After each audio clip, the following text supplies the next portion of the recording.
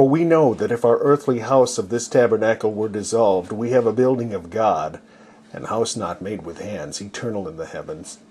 For in this we groan, earnestly desiring to be clothed upon with our house which is from heaven, if so be that, being clothed, we shall not be found naked. For we that are in this tabernacle do groan, being burdened, not for that we would be unclothed, but clothed upon, that mortality might be swallowed up of life. Now he that hath wrought now he that hath wrought us for the selfsame thing is God, who also hath given unto us the earnest of the Spirit.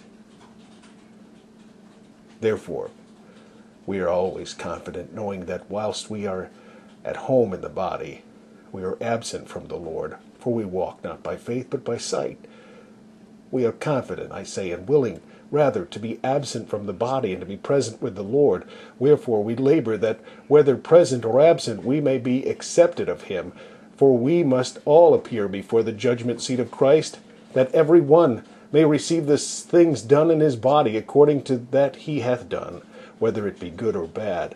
Knowing therefore the terror of the Lord, we persuade men. But we are made manifest unto God. I trust also are and I trust also are made manifest in your consciences. For we commend not ourselves again unto you, but give you occasion to glory on our behalf, that ye may have somewhat to answer them which glory in appearance and not in heart. For whether we be beside ourselves, it is to God, or whether we be sober, it is for your cause. For the love of Christ constraineth us, because we thus judge, that if one died for all, then we're all dead and that he died for all, that they which live should not henceforth live unto themselves, but unto him which died for them, and rose again. Wherefore henceforth know we no man after the flesh. Yea, though we have known Christ after the flesh, yet now henceforth know we him no more.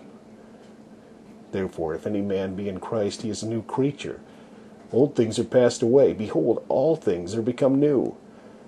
And all things are of God who hath reconciled us to himself by Jesus Christ, and hath given to us the ministry of reconciliation, to wit, that God was in Christ, reconciling the world unto himself, not imputing their trespasses unto them, and hath committed unto us the word of reconciliation. Now then, we are ambassadors for Christ, as though God did beseech you by us. We pray you in Christ's stead, be ye reconciled to God, for he hath made him to be sin for us, who knew no sin, that we might be made the righteousness of God in him.